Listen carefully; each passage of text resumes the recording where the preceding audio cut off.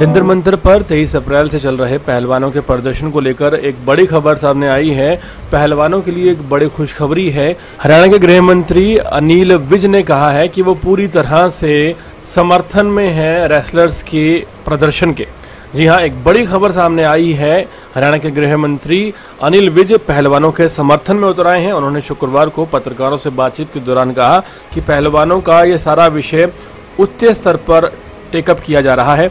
मैं खुद खेल विभाग का मंत्री रहा हूँ। मैं पूरी तरह से खिलाड़ियों के साथ हूँ। अगर मुझको ऊपर सरकार में बात करनी होगी तो मैं बात ज़रूर करूँगा ताकि समाधान इस समस्या का हो सके। वहीं दूसरी तरफ़ एक बड़ी खबर और सामने आ रही है। फतेहाबाद कुश्ती यूनिट ने जंतर मंतर पर धरना दे रहे पहलवानों के समर्थन में सामूहिक रूप से इस्तीफा दे दिया है। यह यूनिट हरियाणा ओलंपिक संघ से संबंधित है।